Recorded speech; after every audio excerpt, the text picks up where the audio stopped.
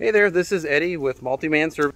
Uh, I thought I'd walk around quickly to talk a little bit about how the, uh, the job went. We did a low pressure gentle detergent wash on the siding. Uh, so the benefit of what we did here uh, was we didn't actually have to use ladders or scaffolding.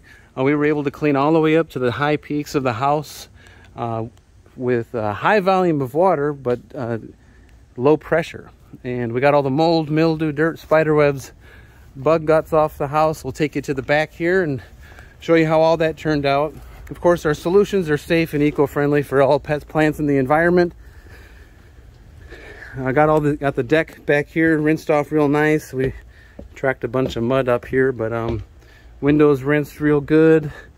Uh, no more green algae, no more mildew. All that's cleaned real nice.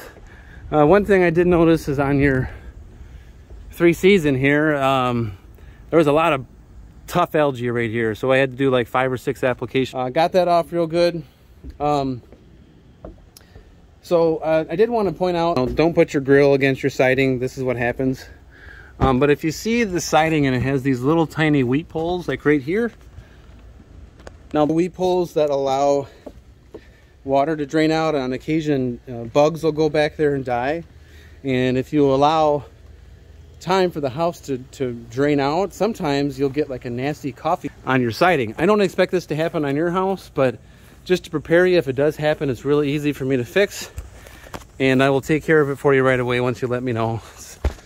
So, once again, this is Eddie with Multiman Services. We're here to service your, your roof, your siding, your gutters, window cleaning, roof rejuvenation services in the Roscoe, Rockton, Rockford, Lake Geneva, Madison areas. Look forward to working for you in the future. Thanks so much. Take care.